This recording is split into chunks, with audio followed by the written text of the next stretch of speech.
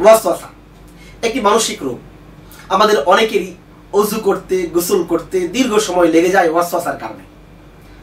শরীয়তের বিভিন্ন মাসাইল এবং বিভিন্ন আকায়েদ বিষয়ও অনেকের মনে ওয়াসওয়াসা সৃষ্টি হয়। এই ক্ষেত্রে আমরা কয়েকটি মূলনীতি বলে দিচ্ছি।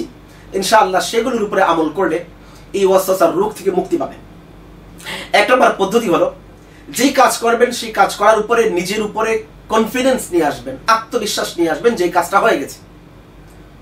যেমন আপনি অজু করলেন, মাথার মধ্যে এই কথাটাই দৃঢ়ভাবে বসিয়ে নেবেন যে আমার অজু হয়ে গেছে। কোনো অঙ্গ শুষ্ক আছে, কোনো অঙ্গ নাই, এরকম কোনো প্রকার ওয়াসওয়াসা মনের মধ্যে আসতে দিবেন না। যে কোনো কাজ করার পরে কনফিডেন্টলি ব্রেনের মধ্যে বসিয়ে দিবেন যেটা হয়ে গেছে। ইনশাআল্লাহ, এইভাবে নিজের মাঝে আত্মবিশ্বাস নিয়ে আসলে ওয়াসওয়াসার রোগ থেকে ধীরে ধীরে মুক্তি পাবেন।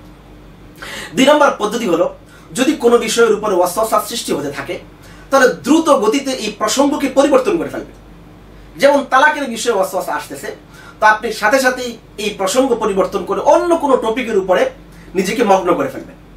তাহলে দুই নম্বর পদ্ধতি হলো টপিক পরিবর্তন করা, বিষয়কে পরিবর্তন করে ফেলা।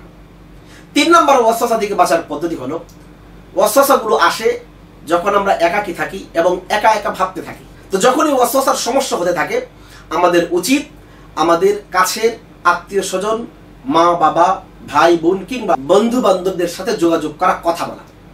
অর্থাৎ ওই বিষয়কে পরিবর্তন করে অন্যান্য বিষয়ের উপরে কথা বলতে শুরু করে দেওয়া, যেন মাথা থেকে ওই ওয়াসওয়াসার বিষয়টাকে দূর হয়ে যায়। তা আমরা এইভাবে ওয়াসওয়াসার রোগ থেকে নিজেকে মুক্ত করতে পারি।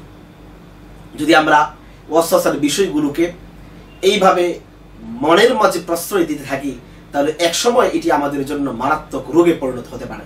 আল্লাহ তালা আমাদেরকে ওয়াসার রোগ থেকে মাহফুজ রাখুন এবং যারা ওয়াসার রোগী আছেন তাদের এই মানসিক সমস্যা থেকে উত্তরণ করে দিন। আমি